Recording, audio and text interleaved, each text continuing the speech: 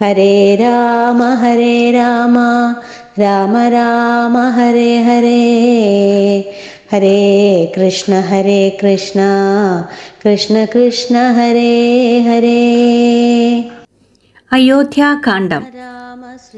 അങ്ങനെ മഹേശ്വരൻ പാർവതീദേവിയോട് കഥ പറച്ചിൽ തുടരുകയാണ്.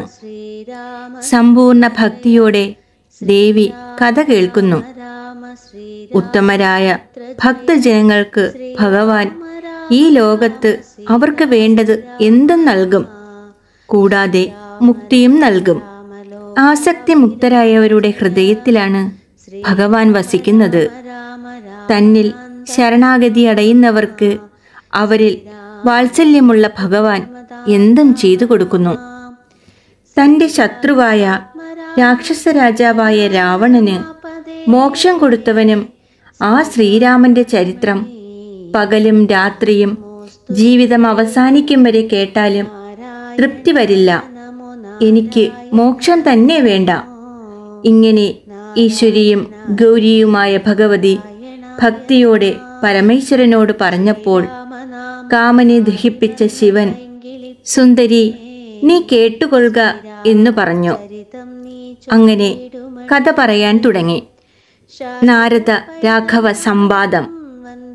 ഒരു ദിവസം ദശരഥപുത്രനും താമരക്കണ്ണനും ഭക്തവത്സലനും ലക്ഷ്മീപതിയും പരമേശ്വരനാൽ വന്ദിക്കപ്പെട്ടവനുമായ ശ്രീരാമൻ കാമലീലകളോടെ അന്തപുരത്തിൽ മംഗളശരീരിണിയായ സീതാദേവിയോട് ചേർന്നിരിക്കുകയായിരുന്നു. നീലത്താമര പോലെ കോമള ശരീരനും ഉപമാരഹിതനും നിർമ്മലനും ശിവപ്രിയനും നിത്യനും നിരാശനുമായ അദ്ദേഹം രത്നാഭരണങ്ങളാൽ അലങ്കരിക്കപ്പെട്ട ശരീരത്തോടെ രത്നസിംഹാസനത്തിൽ രത്നമയമായ പിടിയുള്ള വെൺചാമരം കൊണ്ട് പത്നിയാൽ വീശപ്പെട്ടവനായി ചന്ദ്രക്കലയോടൊത്ത നെറ്റിയിൽ ചന്ദനക്കുറി തൊട്ട് ഉദിച്ചു വരുന്ന സൂര്യന് തുല്യമായ കൗസ്തുഭരത്നത്താൽ അലങ്കൃതമായ കഴുത്തു ചേർന്ന് സുവദനയായ പത്നിയൊത്ത് താമ്പൂല ചർമ്മണം മുതലായവയാൽ അത്യന്തം സന്തുഷ്ടനായി കഴിയുമ്പോൾ അദ്ദേഹത്തെ കാണുന്നതിന് മഹാമുനിയായ നാരദൻ ഭൂലോകത്തിലെത്തി. അഴകേറിയ ശരത്ചന്ദ്രന് തുല്യമായ തേജസ്സോടു കൂടിയവനും നിർമ്മല സ്ഫടികത്തിനൊത്ത ശരീരം ചേർന്നവനുമായ അദ്ദേഹം ആകാശത്തിൽ നിന്നും താഴെ ഇറങ്ങി ശ്രീരാമൻ നാരദനെ കണ്ട് സംഭ്രമത്തോടെ എഴുന്നേറ്റ് ആദരവോടെ നാരീരത്നമായ സീതയുമൊത്ത് നിലത്ത് സാഷ്ടാംഗമീണ നമസ്കരിച്ചു. പാദ്യം ആസനം ആചമനീയം അർഘ്യം ഇവയോടെ ആദരപൂർവം ആദിപുരുഷനാൽ ശ്രീരാമൻ പൂജിക്കപ്പെട്ട നാരദൻ അദ്ദേഹത്തിന്റെ നിർദ്ദേശമനുസരിച്ച് ഇരിക്കുകയും പുഞ്ചിരിച്ചുകൊണ്ട് സാവധാനത്തിൽ മുനിയോട് പറയുകയും ചെയ്തു. കരുണാനിധേ അങ്ങയുടെ പാദം ഞാൻ വന്ദിക്കുന്നു. അനേക വിധത്തിലുള്ള വിഷയാസക്തി ചേർന്ന മനസ്സുള്ള പ്രാപഞ്ചികരായ ഞങ്ങൾക്ക് ജ്ഞാനിയായ അങ്ങയുടെ വിശിഷ്ടപാദം കാണാൻ കഴിഞ്ഞത് പൂർവപുണ്യഫലത്താലാണ് പുണ്യഫലത്താലാണ് സാധാരണ നിലയിൽ അങ്ങയെ കാണാൻ പ്രയാസമാകുന്നു. ബ്രഹ്മപുത്ര മഹാമുനെ തപോനിധേ ഇന്നെന്റെ വംശവും ജന്മവും രാജ്യവുമെല്ലാം പരിശുദ്ധമായി തീർന്നു. എന്തു കാര്യം ഉദ്ദേശിച്ചാണ് അങ്ങ് വന്നതെന്ന് എന്നോട് പറയണം. വളരെ പ്രസന്നനായി അങ്ങ് അത് പറയണമെന്നൊരപേക്ഷയുണ്ട് ബുദ്ധിശൂന്യനാണെങ്കിലും അങ്ങയുടെ കരുണയുണ്ടെങ്കിൽ ഞാനത് സാധിച്ചു തരും. ഇത്രയും പറഞ്ഞതു കേട്ട് ഭക്തവത്സലനും മനുവംശ പ്രദീപവുമായ ശ്രീരാമനോട് മുനിവരനായ നാരദ മഹർഷി ഭംഗിയിൽ പറഞ്ഞു അങ്ങിങ്ങനെ എന്നെ മോഹിപ്പിക്കുന്നതെന്തിന്? സാധാരണക്കാരെ അനുകരിക്കുന്ന സാമർഥ്യം തികഞ്ഞ വാക്കുകൾ മധുരമായി പറയുന്നതെന്തിനാണ്? രഘുനാഥ മോഹിപ്പിക്കുന്ന വാക്കുകൾ കൊണ്ട് എന്റെ മനസ്സിൽ അജ്ഞാനം ഉണ്ടാക്കേണ്ട. ഏതായാലും ലോകോത്തരന്മാർക്ക് ചിലപ്പോൾ ഇങ്ങനെ ലൗകികങ്ങളായ വാക്കുകൾ പറയേണ്ടി വരും. ഞാൻ സംസാരികനാണെന്ന് യോഗേശ്വരനായ അങ്ങ് പറഞ്ഞത് സത്യം തന്നെ. സകല ലോകത്തിനും കാരണഭൂതയായ സകലതിനും അമ്മയായ മായാഭഗവതി സകല ലോകത്തിനും പിതാവായ അങ്ങയുടെ ദിവ്യപത്നിയായി തീർന്നു അതിൽ സംശയമില്ല. പതിനാല് ലോകവും അങ്ങയുടെ ഗൃഹമാണ്. ആ നിലയിൽ ഗൃഹനാഥനാകുന്നത് യുക്തം തന്നെ അങ്ങയുടെ സാന്നിധ്യത്താൽ മാത്രം മായയിൽ നിന്ന് സകല ജീവികളും ഉത്ഭവിക്കുന്നു. ബ്രഹ്മാവ് സൂര്യൻ തുടങ്ങി വെറും പുല്ലുവരെയുള്ളതെല്ലാം ചരങ്ങളും അചരങ്ങളും സകലതും അങ്ങയുടെ സന്താനങ്ങളാണ്. ആ നിലയിൽ സംസാരികനെന്ന് പറഞ്ഞത് ശരിയാണ്. ഈ കാണുന്ന ലോകത്തിലെ സകല ജന്തുക്കൾക്കും പിതാവായത് അങ്ങ് തന്നെ. വെളുപ്പ് ചുവപ്പ് കറുപ്പ് ഇങ്ങനെ നിറഭേദത്തോടെ സത്വം തേജസ് തമസ് ഈ മൂന്ന് ഗുണവും ചേർന്ന് വിഷ്ണു മഹാമായ ശക്തി തന്നെയാണ് അങ്ങയുടെ പത്നി. ജീവികളെ ജനിപ്പിക്കുന്നത് അവൾ തന്നെ. അങ്ങ് പറഞ്ഞത് സത്യം തന്നെ.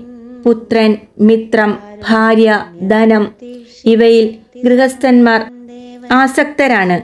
മൂന്ന് ലോകമാകുന്ന ഗൃഹത്തിന് അങ്ങ് ഏക ഗൃഹനാഥനാണ്. അങ്ങ് മഹാവിഷ്ണുവാണ്. സീത ലക്ഷ്മി ദേവിയാണ് ശിവനും അങ്ങ് തന്നെ.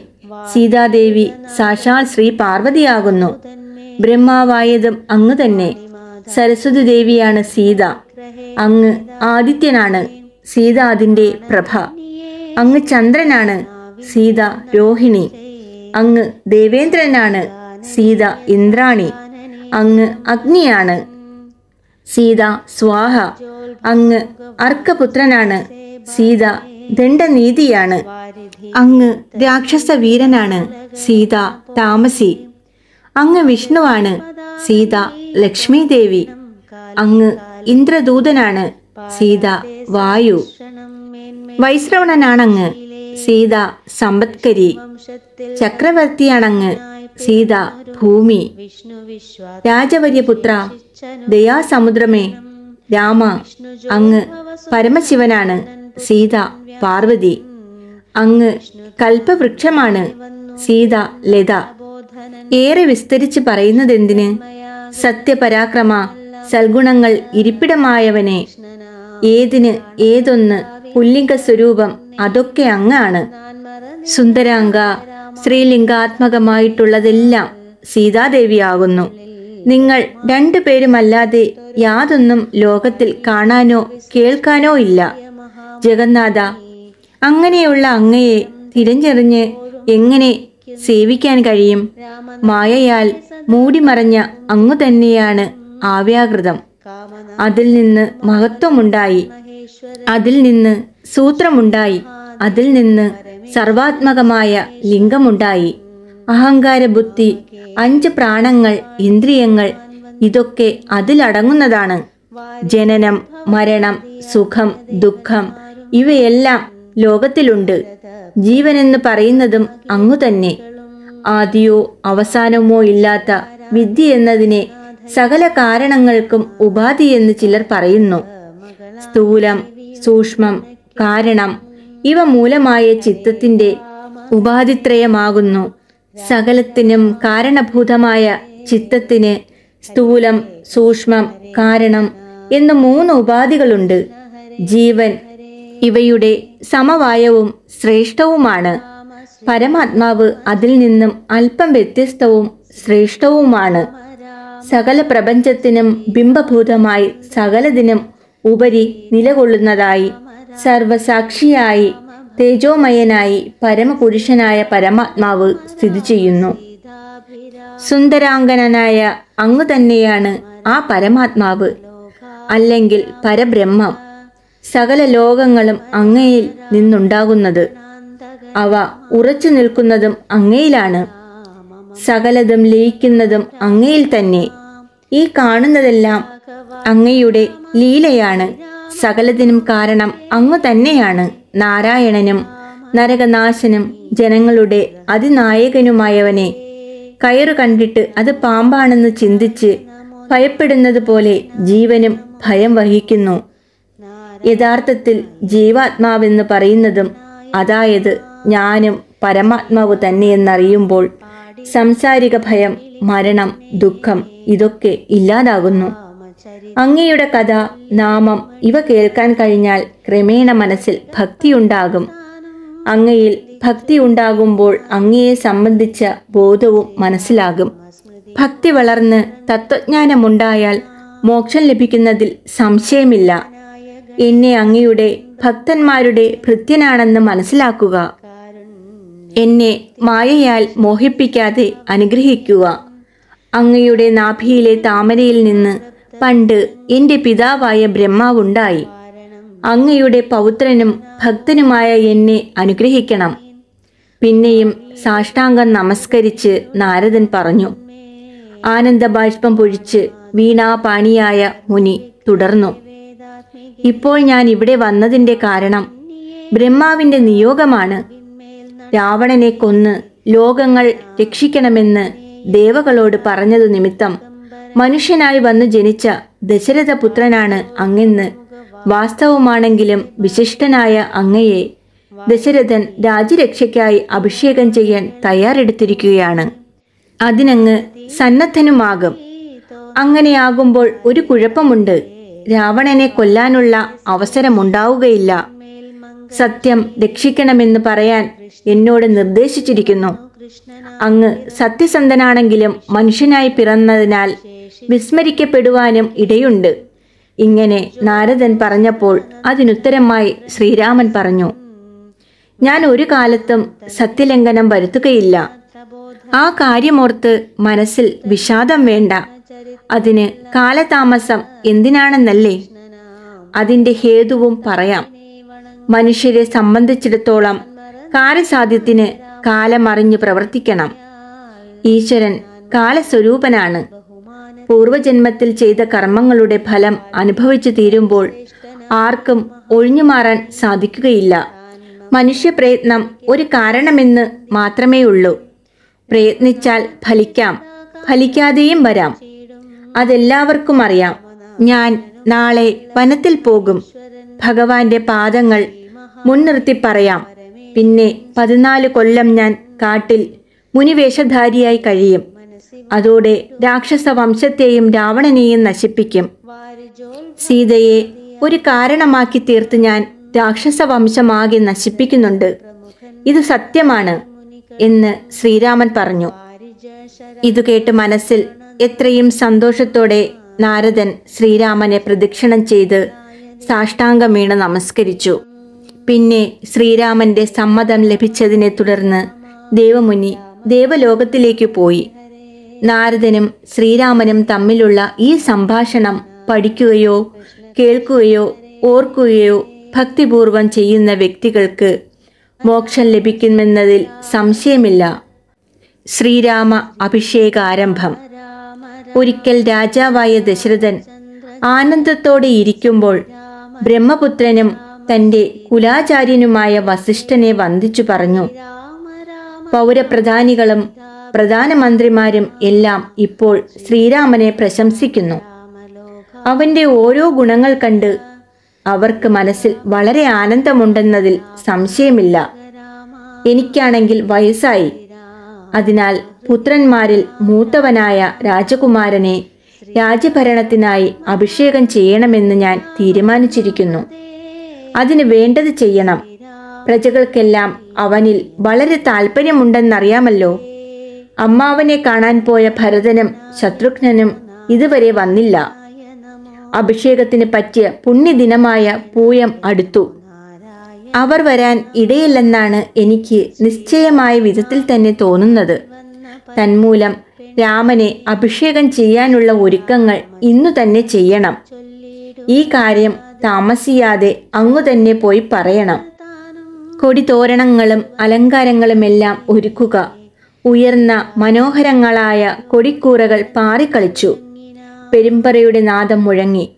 അതു ദിക്കുകളിലൊക്കെ മാറ്റുലികൊണ്ടു ആ ഘട്ടത്തിൽ ദശരഥ രാജാവ് സുമന്ത്രരോട് പറഞ്ഞു വസിഷ്ഠൻ പറയുന്നതനുസരിച്ച് എല്ലാ കാര്യങ്ങളും മംഗളം കവിയുമാറ് ഒരുക്കി കൊടുക്കണം. സുന്ദരനായ രാമന്റെ അഭിഷേകം നാളെ തന്നെ നടത്തണം. സന്തുഷ്ടനായ സുമന്ത്രൻ വസിഷ്ഠനെ വന്ദിച്ചു പറഞ്ഞു ഈ കാര്യത്തിൽ എന്താണ് വേണ്ടതെന്ന് പറയുക. ഒരു കുറവുമില്ലാതെ ഞാൻ എല്ലാം ഒരുക്കുന്നുണ്ട്. മനസ്സിൽ വേണ്ടതെല്ലാം നിശ്ചയിച്ചുറച്ച ശേഷം വസിഷ്ഠൻ ഇങ്ങനെ പറഞ്ഞു കേൾക്കുക. നാളെ പ്രഭാതകാലത്തിൽ അലങ്കരിച്ച് സുന്ദരിമാരായ പതിനാറ് കന്യകമാർ നടുക്കുള്ള ഭാഗത്ത് നിൽക്കണം. മതയാനകളെ സ്വർണത്തലേക്കെട്ടും മറ്റും കിട്ടി ഒരുക്കി നിർത്തണം. ഐരാവതത്തിന്റെ കുലത്തിൽ പിറന്ന നാൽക്കൊമ്പനെ അലങ്കരിച്ച് നിർത്തപ്പെടണം. ദിവ്യങ്ങളായ പല തീർത്ഥങ്ങളും നിറച്ചവയും ദിവ്യരത്നങ്ങൾ പതിച്ചവയും വിചിത്രങ്ങളുമായ ആയിരം സ്വർണക്കുടങ്ങൾ ചന്ദനമരത്തിന്റെ ഇലകൾ കൊണ്ട് വായ കെട്ടി തയ്യാറാക്കി വെക്കണം. മൂന്ന് പുതിയ പുലിത്തോൽ വരുത്തണം. രത്നശോഭിതവും സ്വർണ കൈയുള്ളതുമായ വെൺകുറ്റക്കുട തയ്യാറാക്കണം. മുത്തുകൾ മണിമാലകൾ ഇവകളാൽ ശോഭിതങ്ങളായ വസ്ത്രങ്ങൾ മാലകൾ ആഭരണങ്ങൾ ഇവ തയ്യാറാക്കണം.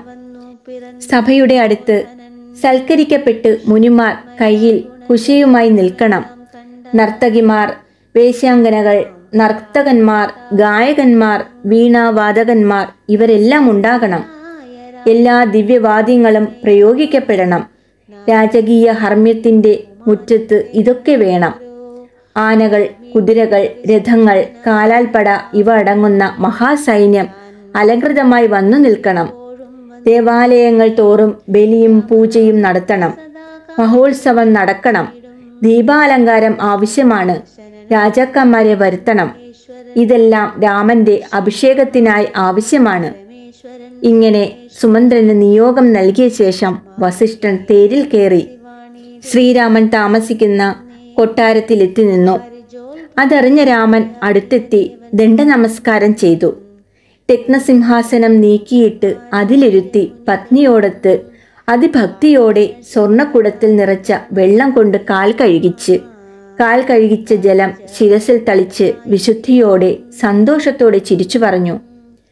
അങ്ങയുടെ പാദതീർത്ഥം ധരിക്കാൻ ഇടയായതിനാൽ ഞാൻ എത്രയും പുണ്യവാനായി തീർന്നു. രാമചന്ദ്രന്റെ ഈ വാക്കുകൾ കേട്ട് ചിരിച്ചുകൊണ്ട് വസിഷ്ഠൻ പറഞ്ഞു രാജകുമാര അങ്ങയുടെ വാക്കുകൾ കൊള്ളാം. എനിക്ക് ഒരു കാര്യം പറയാനുണ്ട്. അങ്ങയുടെ പാദതീർത്ഥം ധരിക്കുകയാൽ ശ്രീ പരമേശ്വരനും ധന്യനായി തീർന്നു. എന്റെ പിതാവായ ബ്രഹ്മാവും അങ്ങയുടെ പാദതീർത്ഥത്താൽ വിശുദ്ധി നേടി. ഇപ്പോൾ മഹാജനങ്ങളെ ഉപദേശിക്കുന്നതിനായിട്ടാണ് അങ്ങ് ഇത് പറഞ്ഞത്. അങ്ങ് ആരാണെന്ന് എനിക്ക് ശരിയായി അറിയാം. സാക്ഷാൽ പരബ്രഹ്മവും പരമാത്മാവും മോക്ഷപ്രദനും ജഗന്മയനും ആയ വിഷ്ണു ഭഗവാൻ ലക്ഷ്മി ഭഗവതിയോടൊത്ത് ഭൂമിയിൽ ജനിച്ചു. അക്കാര്യത്തിൽ സംശയമില്ല. ദേവകാര്യം സാധിക്കുന്നതിനും രാവണനെ കൊന്ന് ലോകത്തിന്റെ ക്ലേശം ശമിപ്പിക്കാനും ഭക്തന്മാർക്ക് മോക്ഷം നൽകുന്നതിനും ഇങ്ങനെ അവതാരം ചെയ്ത ലക്ഷ്മിനാഥ ദേവകാര്യത്തിനായി എത്രയും രഹസ്യമായ ഈ കാര്യം ഞാൻ ഇതുവരെ പുറത്തു പറയാതിരുന്നു. ശ്രീധര അങ്ങ് മായാ മനുഷ്യനായി കാര്യങ്ങളെല്ലാം നിർവഹിക്കുക.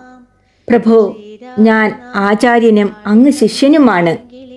ലോകത്തിന്റെ നന്മയ്ക്ക് വേണ്ടത് പറഞ്ഞു കൊടുക്കേണ്ട ചുമതലയുണ്ടല്ലോ. അങ്ങ് ചരാചരങ്ങളുടെ സാക്ഷാൽ ആചാര്യനാണ്. ഋതുക്കളുടെയും പിതാമഹനുമാണ് അങ്ങ്. സകലതിലും അഗോചരനായി അന്തര്യാമിയായി സകല ജഗത്തുക്കളുമാകുന്ന യന്ത്രം നടത്തുന്നവനുമായ അങ്ങ്. ശുദ്ധ തത്വോത്മകമായ ശരീരം ധരിച്ച് സകല കാര്യങ്ങൾക്കും കർത്യതം ഉൾക്കൊണ്ട് മനുഷ്യരൂപത്തിൽ ദശരഥപുത്രനായി ഭൂമിയിൽ യോഗമായ നിമിത്തം ജനിച്ചു എന്ന കാര്യം മുമ്പ് തന്നെ ഞാൻ ധരിച്ചിട്ടുള്ളതാണ്. ബ്രഹ്മാവ് തന്നെ അക്കാര്യം എന്നോട് പറഞ്ഞിട്ടുണ്ട്. അതറിഞ്ഞുകൊണ്ട് തന്നെയാണ് പണ്ട് മുതലേ ഞാൻ സൂര്യവംശത്തിലെ ഗുരുവായത്. ഞാൻ അങ്ങയുമായുള്ള ബന്ധം ആഗ്രഹിച്ച് അന്ന് പുരോഹിത കർമ്മങ്ങൾ അനുഷ്ഠിച്ചു. നിന്ദ്യകർമ്മങ്ങൾ ചെയ്താൽ ഒരു പക്ഷേ തൽക്കാലം ഗുണം കിട്ടിയാലും അത് ഗുണകരമല്ല. ഇന്ന് എന്റെ ആഗ്രഹം സഫലമായി. ഇനി ഒരു കാര്യം കൂടി ഞാൻ അപേക്ഷിക്കുന്നുണ്ട്. യോഗനാഥ ഭഗവതിയായ അങ്ങയുടെ മഹാമായ ലോകമോഹിനിയാണ്. അതെന്നെ മോഹിപ്പിക്കാതിരിക്കട്ടെ. അങ്ങ് ആചാര്യന് വേണ്ടത് കൊടുക്കാൻ താല്പര്യമുള്ളവനെങ്കിൽ എന്റെ ചിന്താഗതികളെ മായ കൊണ്ട് മോഹിപ്പിക്കാതിരിക്കണം. അങ്ങയുമായുള്ള ബന്ധം കൊണ്ട് ഞാൻ ഇതെല്ലാം ഇപ്പോൾ പറഞ്ഞു. വേറൊരു ഘട്ടത്തിലും ഇത് പറയേണ്ടതല്ല. ദശരഥ മഹാരാജാവ് പറഞ്ഞിട്ടുണ്ട് ഹേ സുന്ദരാംഗ ഞാൻ ഇവിടെ വന്നത് അടുത്ത ഘട്ടത്തിൽ തന്നെ അഭിഷേകം നടക്കുമെന്ന് നേരിട്ടറിയിക്കാൻ ഞാൻ വന്നു. ഇന്ന് സീതാദേവിയുമൊത്ത് ഉപവാസം ചെയ്ത് വെറും നിലത്ത് കിടക്കണം. ബ്രഹ്മചര്യം അനുഷ്ഠിക്കണം. ഞാൻ ചെന്ന് മറ്റു കർമ്മങ്ങൾ ഒരുക്കാം. നാളെ കാലത്തെ വരിക എന്ന് പറഞ്ഞ് വസിഷ്ഠൻ തേരിൽ കയറി പിന്നെ ശ്രീരാമൻ ലക്ഷ്മണനോട് ചിരിച്ചുകൊണ്ട് രഹസ്യമായി പറഞ്ഞു അടുത്ത ദിവസം അച്ഛൻ എന്റെ രാജാഭിഷേകം സന്തോഷപൂർവം നടത്തും. അക്കാര്യത്തിൽ ഞാനൊരു നിമിത്തം മാത്രമാണ്. അതിന്റെ കർത്താവും രാജ്യം അനുഭവിക്കുന്നതും നീയാണ്. നീ എന്റെ പുറമേയുള്ള പ്രാണനാണ്. അതിനാൽ ഈ ഉത്സവത്തിന് തയ്യാറെടുത്തുകൊള്ളുക. നീ എനിക്ക് തുല്യനാണ്. അക്കാര്യത്തിൽ നമ്മളോട് മത്സരിക്കുന്നതിന് ആരുമില്ല. ഇങ്ങനെ ഓരോന്ന് പറയുമ്പോൾ ദശരഥ മഹാരാജാവിന്റെ ഗൃഹത്തിലെത്തിയ വസിഷ്ഠൻ സകല കാര്യങ്ങളും സന്തോഷപൂർവം രാജാവിനോട് പറഞ്ഞു. ബ്രഹ്മപുത്രനായ വസിഷ്ഠനോട് ദശരഥ രാജാവ് ആനന്ദത്തോടെ ശ്രീരാമാഭിഷേകത്തെ സംബന്ധിച്ച കാര്യങ്ങൾ അതിനുവേണ്ട പൂജാദികളായ ഒരുക്കങ്ങളുടെ വിവരം ഇവ പറയുന്നത് കേട്ടതിനെ തുടർന്ന് ഒരു വ്യക്തി കൗസല്യയോടും സുമിത്രയോടും ആ കാര്യമെല്ലാം പറഞ്ഞു. സന്തുഷ്ടയായ കൗസല്യ ആ ശുഭവാർത്ത പറഞ്ഞവന് ഒരു നല്ല മാല സമ്മാനമായി കൊടുത്ത് മകന് ശ്രേയസ്സുണ്ടാവാൻ ലക്ഷ്മി ദേവിയെ പൂജിക്കണം. ദേവി നാഥേ നീ മാത്രമാണ് എനിക്കൊരു ആശ്രയം എന്ന് മനസ്സിൽ ഏറെ ഭക്തിയോടെ വന്നിച്ച് നിൽക്കുകയും ചെയ്തു. ഹരേ രാമ ഹരേ രാമ രാമ രാമ ഹരേ ഹരേ ഹരേ കൃഷ്ണ ഹരേ കൃഷ്ണ കൃഷ്ണ കൃഷ്ണ ഹരേ ഹരേ